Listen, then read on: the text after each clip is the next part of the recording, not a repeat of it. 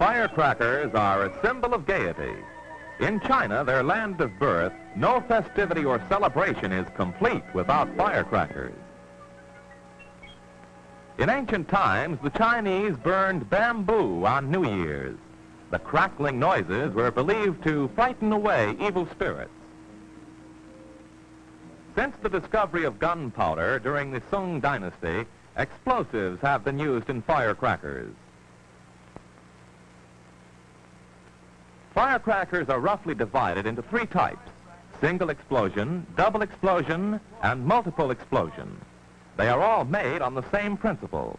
First, rough paper of straw fiber is cut to prepare for the containers of the explosives.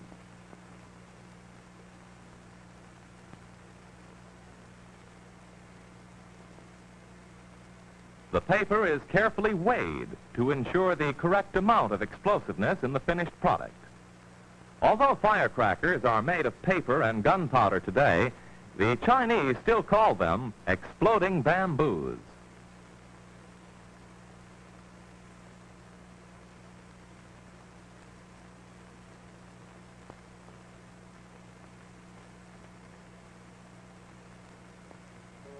The containers for the explosives are made on a pulling bench, operated by hand.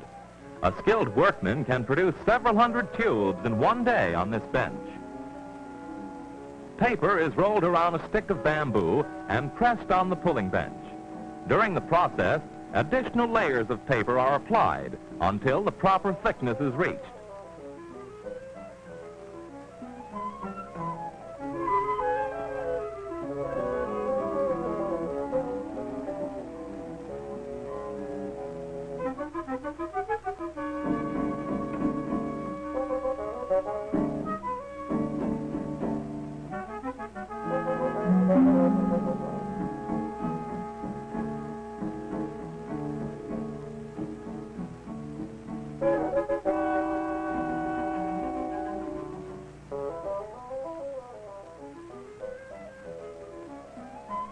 Finally, the bamboo core is removed, and the result is a hard, strong, hollow tube.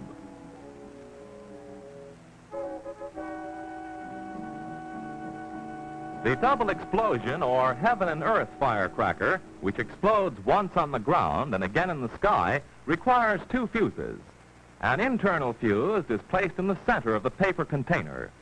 Some dirt is then dropped into the firecracker to anchor the fuse and to separate the container into two compartments. The dirt is packed tightly by pounding. The firecrackers are then tied into a bundle and a piece of paper is pasted over the lower ends.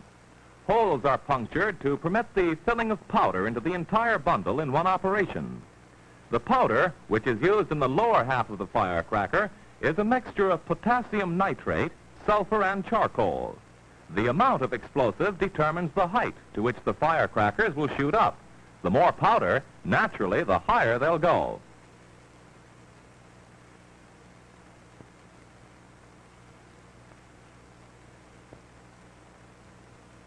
After the excess powder is shaken off, the lower end of each firecracker is sealed by pressing together the paper rim.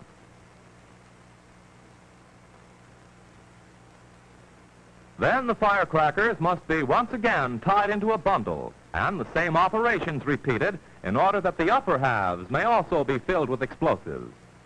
Here, the mixture is slightly different, consisting of potassium chlorate, sulfur, and charcoal.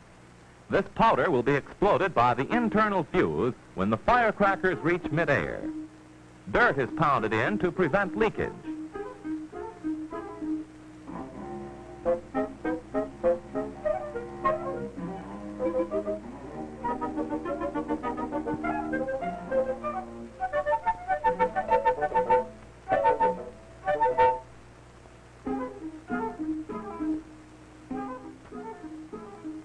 After the firecrackers are completely filled, the upper ends are clamped together.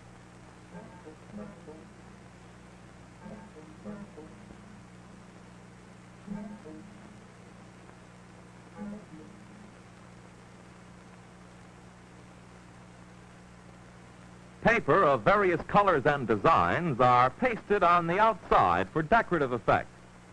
The designs often symbolize good luck or portray gods connected with festivals for which the firecrackers are made.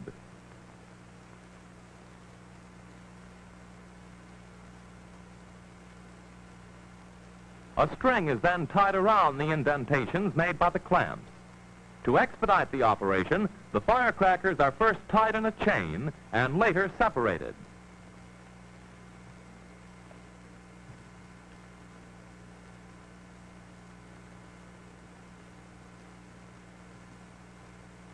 On each firecracker, a small hole is punctured to allow the insertion of the external fuse.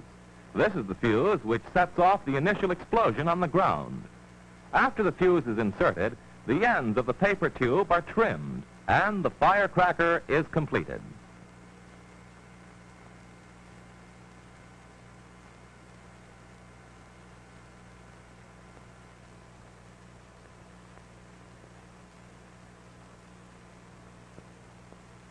Now the finished product is packed and ready for the market. The Heaven and Earth firecracker is also known as the double kick.